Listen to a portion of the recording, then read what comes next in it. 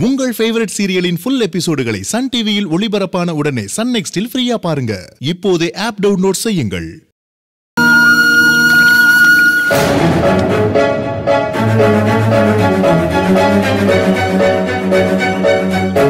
ஆர்த்தி எடுத்ததெல்லாம் போதும். வீட்டை இப்ப காலி பண்ணுவீங்க.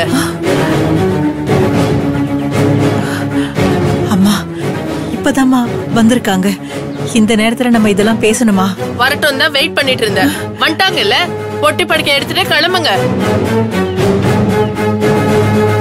நீங்க இந்த மாதிரி பேசினா எங்கம்மா போவோம் நாங்க? எங்கேயாவது போங்க. அத பத்தி எனக்கு கவலை இல்ல. ஆனா இனிமே உங்களுக்கு இடம் இல்ல. எப்படி வச்சிருந்த வீடு தெரியுமா இது? இங்க போலீஸ் பொறுக்கின்னு எல்லாரும் வந்துட்டு இருக்காங்க. நீங்க இங்க இருந்தா என்னைக்காவது ஒரு நாள் நான் கூட ஜெயிலுக்கு போக வேண்டி வந்துரும். அம்மா உங்க வாடகை பாக்கிய நான் நாளை கொடுத்துறேம்மா. ஐயா சாமி நீங்களும் வேணாம் உங்க வாடகை வேணாம். முதல்ல இடத்த விட்டு கிளம்புங்க. ராஜா. இரு. அம்மா எங்களுக்கு ஒரு ஒரு வாரம் டைம் கொடுங்க. நாங்க வீட்டை காலி பண்ணிடுறோம். ஒரு வாரம் வரைக்கும் டைம் கொடுத்தா நீங்க என்ன கோடீஸ்வரன் ஆயிடுவீங்களா? இல்ல நாங்க வேற ஒரு வீடு பார்க்கணும். அதுக்கு அட்வான்ஸ் எல்லாம் ரெடி பண்ணோம்ல. அதுக்கு தான் ஒரு வாரம் கேட்டேன். அதெல்லாம் என்னால ஒரு வாரம் எல்லாம் பொறுத்துக்க முடியாதுங்க. நீங்க இப்பவே இந்த நிமிஷமே வீட்டை விட்டு கிளம்புங்க. கஞ்சா கிஞ்சான்னு வீட்டையே நாசம் பண்ணிட்டு இருக்கீங்க. ஆண்டி அது நீங்க ஒட்டி உறவாடினீங்களே மகத்தி. அவ பண்ண வேலை. இதுக்கும் எங்களுக்கும் எந்த சம்பந்தமும் இல்ல. இது பாருமா சம்பந்தம் இருந்தாலும் இல்லனாலும் நீங்க இங்க வேணாம். தயவு செஞ்சு போயிடுங்க. நான் ஒரு பொண்ணை வச்சிருக்கேன். அவள ஒரு நல்ல இடமா பார்த்து நான் கல்யாணம் பண்ணி தரணும். நீங்க இங்க இருந்தா அது நடக்காது. உங்களை வச்சு எங்களை எடை போடுவாங்க. நீங்க தயவு செஞ்சு போயிடுங்க. அம்மா ஒரு வாரம் ஒரே ஒரு வாரம் மட்டும் எங்களுக்கு டைம் கொடுங்கம்மா. நாங்களே இங்க இருந்து போயிடுறோம். இத ஒரு உதவி மாதிரி செய்யுங்கம்மா. ப்ளீஸ் ராஜா நீ எதுக்குப்பா இதெல்லாம் பண்ற? என்னால வந்ததுக்கு நான் தானே மன்னிப்பு கேட்கணும் அத்தை. உங்க கௌரவம் போறதுக்கு ஒரு விதத்துல நான் தானே காரணம். அதெல்லாம் எதுவும் இல்லப்பா. நீ ஏன் அப்படிலாம் நினைக்கிற? ஆரம்பத்துல இருந்தே இங்க நடந்த அத்தனை கெட்ட சம்பவத்துக்கும் நானும் என் பழைய குடும்பமும் தானே காரணம். அது என்னால மறுக்க முடியலையே. இங்க பாருங்கம்மா. நீங்க மனசு வைங்க. ஒரே ஒரு வாரம் எங்களை இருக்க விடுங்கம்மா.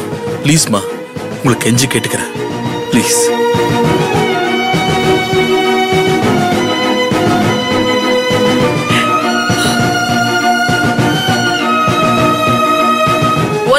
டைம் தருவேன் அதுக்குள்ள நீங்களே வீடு காலி பண்ணி போயிடணும். கண்டிப்பா.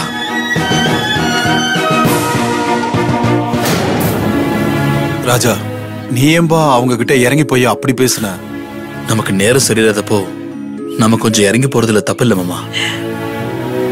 கெட்டது செய்யறவங்களா நல்லா இருக்கும்போது யாருக்கும் எந்த கெடுதலும் செய்யாத நமக்கு ஏன் இப்படி கெட்டதாவே நடக்குதுப்பா? அதான் சொன்னேனே அத்தை. நமக்கு நேரம் சரியில்லை. அவங்களுக்கு நேரம் நல்லா இருக்கு. இந்த மாதிரி நடக்க நடக்கதான். எனக்கு வாழ்க்கை மேல ஒரு பிடிப்பே வருது. அதுக்காகவாவது நாம இதெல்லாம் கொஞ்சம் பொறுத்து போவோம்.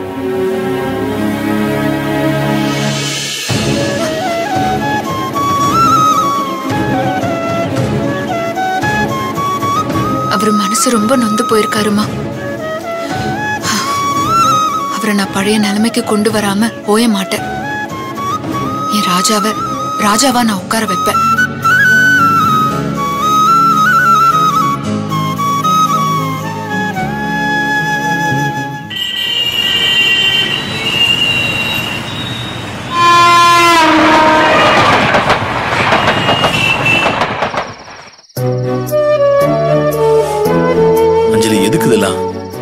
தான் டாக்டரே சரியாயிடுன்னு சொல்லியிருக்காருல்ல ராஜா வெளிக்காயம் வேணா ஆறிடும். ஆனா ரத்தக்கட்டு கரையணும்ல. ஆம், சுடு தண்ணி ஒத்தடம் கொடுத்தாதான் அது கரையும். அப்பா இந்த மாதிரி தான் ஒன்னும் இல்ல ஒன்னும் இல்லைன்னு சொல்லி போலீஸ்காரங்க அடிச்ச காயத்தெல்லாம் மறைச்சு வச்சிருந்தாரு. அதுக்கப்புறம் அவர் பட்ட கஷ்டம் எங்களுக்கு தானே தெரியும். ஆம், சரி டவல் எடு.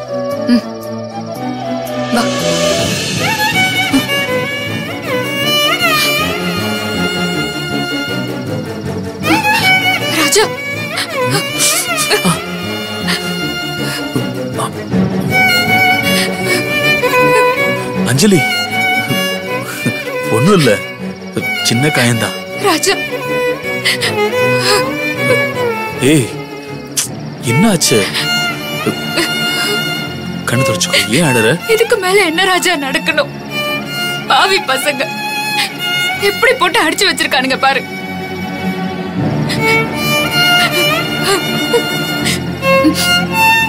இரு.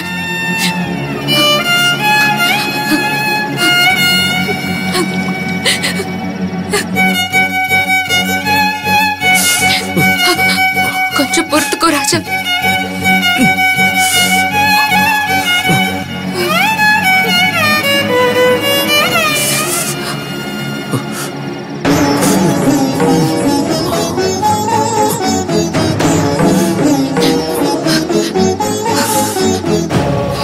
இது எல்லாத்துக்கும் காரணம் அந்த மகத்தையும் ஜெயராமனும் தான்.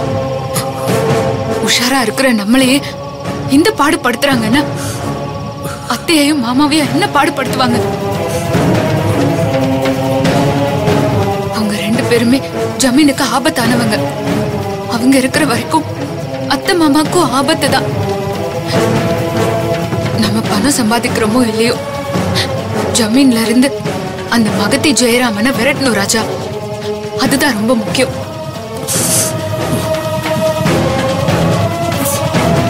அங்கிருந்து விரட்டாம நான் ஓய மாட்டேன் ராஜா.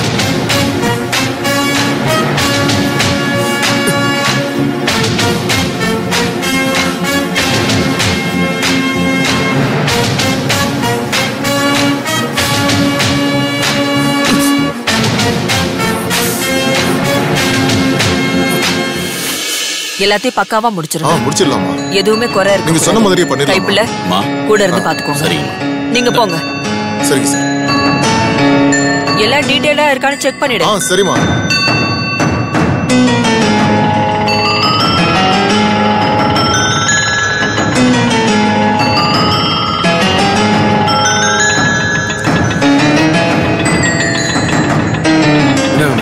நீங்க கிளம்புங்க. ஆ சார்.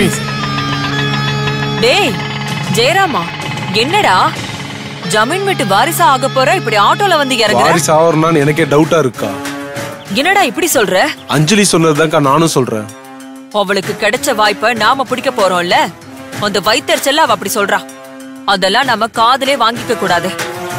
வாங்கினாதான் மனசுக்குள்ள போகும்.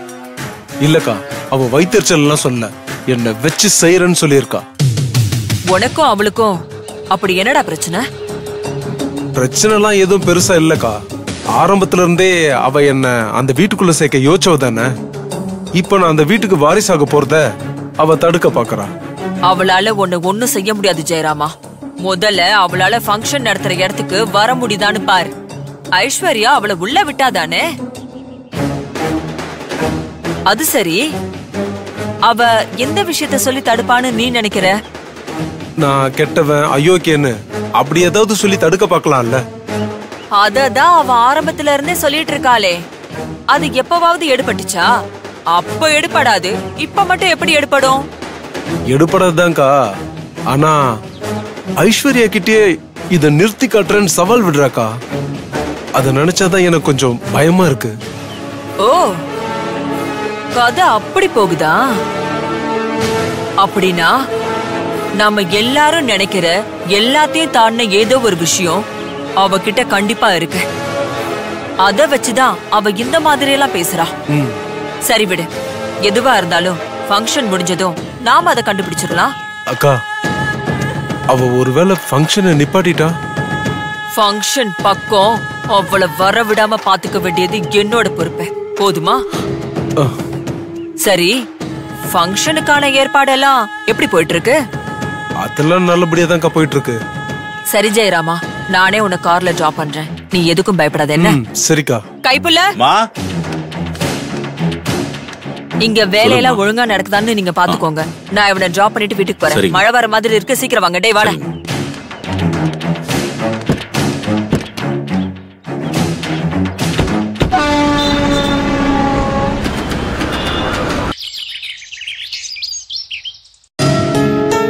ஆமா நாளைக்கு வாரிசுன்னு அனௌன்ஸ் பண்ண போறோம். அதுக்காக தான் இன்னைக்கு கோயில்ல பூஜை வச்சிருக்கோம். நீங்க மறக்காம வந்துருங்க. ஆ சரி.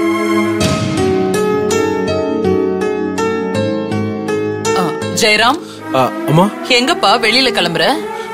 அது வந்துமா கோயில்ல போய் கொஞ்ச நேரம் உட்காந்துட்டு வரலான்னு போறோம்மா. கொஞ்ச நேரம் இல்ல. இன்னும் ரெண்டு நாளைக்கு நாம எல்லாருமே கோவில்ல தான் இருக்க போறோம். கோயில்லையா? எதுக்குமா நான் நேத்தே உங்க எல்லார்கிட்டயும் சொல்லணும்னு நினைச்சிட்டு இருந்தேன். ஆனா மறந்துட்டேன். என்னம்மா விசேஷம்? நாளைக்கு மறுநாள் உன்னை இந்த உலகத்துக்கு எங்களோட வாரிசுன்னு அறிவிக்க போறோம்.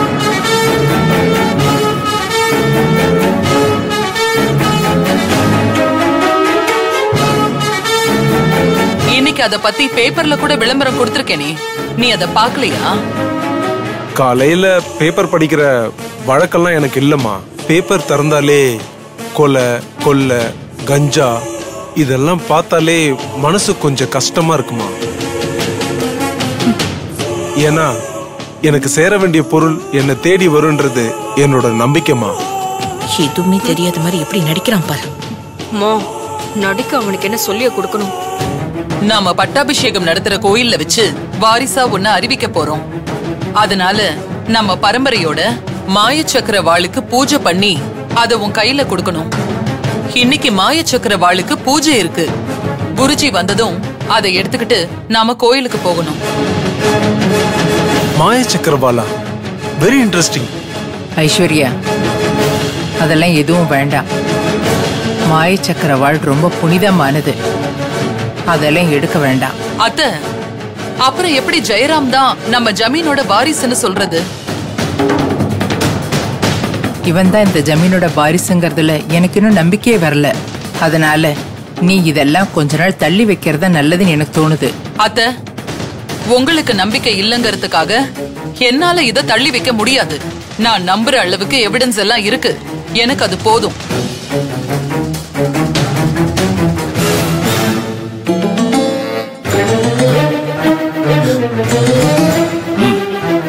அத்த குருஜி வந்துட்டாரு. நீங்க இப்ப எதையாவது பேசி குழப்பிட்டு இருக்காதீங்க. வாங்க. வணக்கம். வாங்க வணக்கம். வணக்கம். இவன் தான் சின்ன வயசுல தொலைஞ்சு போன எங்களோட வாரிசு. என்ன ஆசீர்வாதம் பண்ணுங்க. நல்லாரு நல்லாரு. மா வாங்க. நல்ல நேரம் முடியறதுக்குள்ள வாழை பெட்டியிலிருந்து எடுத்துருவோம் சரி. வாங்க. வாங்க. இருங்க. என்ன? நீங்க ரெண்டு பேரும் மட்டும் வர்றீங்க? எல்லாரும் வரணும். குருஜி பெட்டில இருந்து தானே எடுக்க போறோம்? அதுக்கு எதுக்கு எல்லாருமே? நாம எடுக்க போறது மாய சக்கர வாழ். அத ஜமீன ஆண்டவங்க பக்கத்துல இல்லாம அதை எடுக்க கூடாது. நம்மளால அதை எடுக்கவும் முடியாது. அதெல்லாம் அதுக்கு எப்படி தெரியும் குருஜி? அது வெறும் இரும்பு தானே? அதுக்கு கண்ணு இருக்க போதா? இல்ல காது இருக்க போதா? விஷயம் தெரியாம பேசாத. இந்த ஜமீனை பொறுத்த வரைக்கும் அதுவும் ஒரு உயிர் தான் என்னம்மா அத பத்தி வாரிசா வர்றவருக்கு நீங்க சொல்லலையா? இது ஐஸ்வர்யாவுக்கு தெரியாது குருஜி. இதுக்கு முன்னாடி இவ எடுத்திருந்தா யாராவது இவளுக்கு சொல்லியிருப்பாங்க. இவ இந்த குடும்பத்துக்கு வந்ததுல இருந்து இப்பதானே வாரிசு பட்டாபிஷேகம் நடக்குது? இந்த ஜமீனை பொறுத்த வரைக்கும் வழி வழியா எங்க பரம்பரைய சேர்ந்தவங்க மட்டும்தான் அந்த வாளுக்கு பூஜை பண்ணி கொடுத்துட்டு வர்றோம். ம். அதனால அத பத்தி எங்களுக்கு நல்லாவே தெரியும். என்னங்க? நீங்க கூட இத பத்தி என்கிட்ட சொல்லவே இல்ல? சொல்றதுக்கான சூழ்நிலை வரல. நீ அந்த வால் எங்க இருக்குன்னு கேட்ட. நான் ஒரு முறை காட்டினேன். அவ்வளவுதான். அந்த வால் நம்ம பரம்பரைக்கு தெய்வ அருளால் கிடைச்சது. அது எப்போ கிடைச்சது? எப்படி கிடைச்சதுன்னு யாருக்குமே தெரியாது. அந்த வாழை இந்த பரம்பரையை சேர்ந்தவங்களை தவிர வேற யாராலையும் தொட முடியாது. அப்போ ஜெயராமன்னாலையும் தொட முடியாதா? தொட முடியாத வாழ நாம எதுக்கு எடுத்துக்கிட்டு? ஜெயராம் நம்ம பரம்பரைய சேர்ந்தவன் தானே? அவனால ஏன் எடுக்க முடியாது. எங்கேயோ வளர்ந்திருந்தாலும் அவன் இந்த பரம்பரைய சேர்ந்தவன் தான். இந்த பரம்பரையை சேர்ந்தவனா இருந்தாலும் அத கெட்ட எண்ணத்தோட தொட்டா அத்தோட அவன் கெட்டான். அப்படி ஒரு சக்தி அந்த வாளுக்கு இருக்கு. ஆ, ஐஸ்வர்யா ஆ, அப்படின்னா வால்லாம் எதுக்கு? ஆ, பேசாம அம்மா சொல்ற மாதிரி. தெரிஞ்சவங்க நாலு பேரை வர சொல்லி இவன் தான் இந்த குடும்பத்தோட வாரிசுன்னு சொல்லிடலாம்ல? அவனை நீங்க யாருமே இந்த பரம்பரையை சேர்ந்தவன் இல்லங்கிற அர்த்தத்திலேயே பேசுறீங்க. எனக்கு அப்பதான் இத ப்ரூவ் பண்ணியே காட்டணும்னு வைராகியம் வருது. வாழை எடுக்கிறோம் பூஜை பண்றோம். பட்டாபிஷேகத்துல ஜெயராமன் கையில அதை கொடுத்து உங்களோட இந்த சந்தேகத்துக்கெல்லாம் நான் முற்றுப்புள்ளி வைக்கிறேன். அப்போ பட்டாபிஷேகம் நடக்க போறதில்ல. மா தொட்டா கெட்டான்னு பாட்டி சொன்னாங்களே. எனக்கு அது போதும். எல்லாரையும் கூட்டிட்டு வாங்க. முக்கியமா ராஜமாதா வரணும். அவங்க ஒரு பட்டாபிஷேகமாவது பார்த்திருப்பாங்க. அத்த வாங்க. வாங்க. வாங்க. போங்க. அண்ணி வாங்க.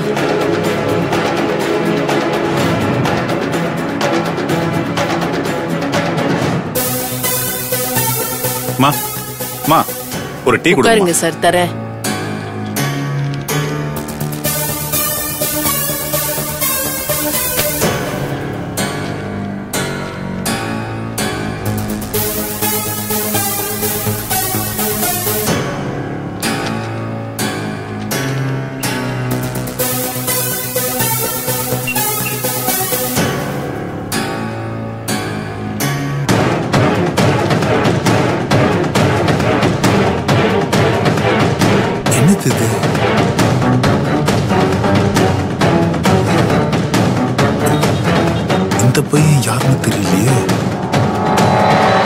அரசம்பட்டி ஜமீன் உண்மையான வாரிசு ஜெயராமன்.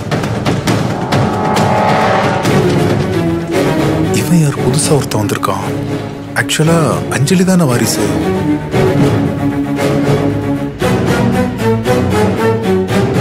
நளினி போன்ல வச்சிருக்கிறத அவங்க கிட்ட காட்டி அவன் ஜமீன் ஆகிறத தடுக்கணும்.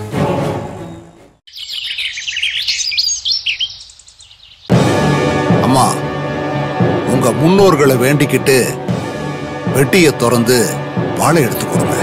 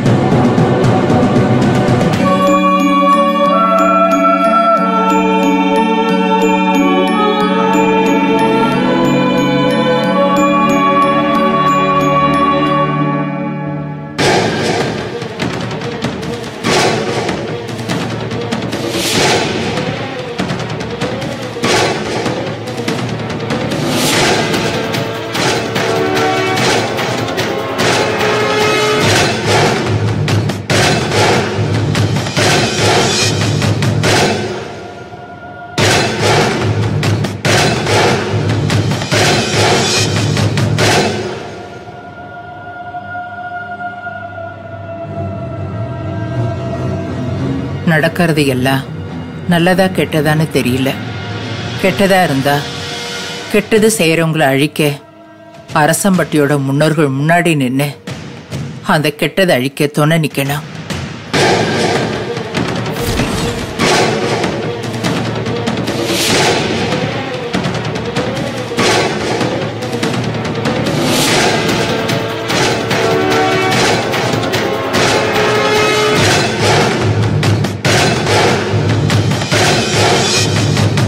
இந்தாங்க குருஜி.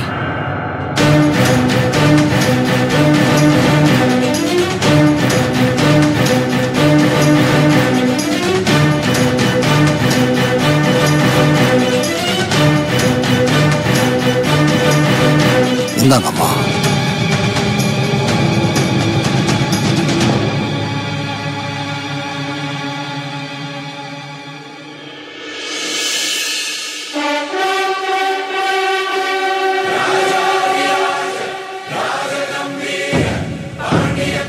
வாழை வெளியே எடுங்கம்மா.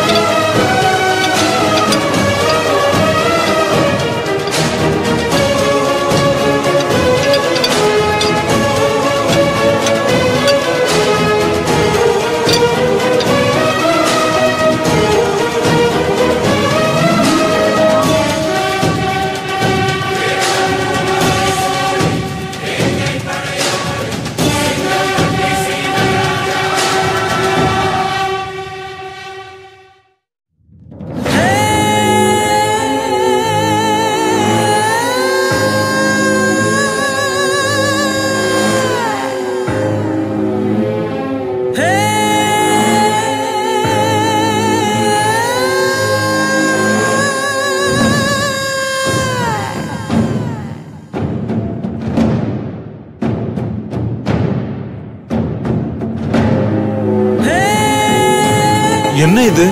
நேத்து தொடச்சு வச்ச மாதிரி இப்படி பல இருக்கு முப்பது வருஷத்துக்கு முன்னாடி மூடின பொட்டி இது. அதுக்கப்புறம் இன்னைக்கு தான் திறக்கிறோம். தெய்வீக அருளால அது இப்படி பளபளக்குது. நிஜமாவே இது மாயவாள்னா? இத ஜெயராமன் தொட்டா அவனுக்கு சங்குதான்.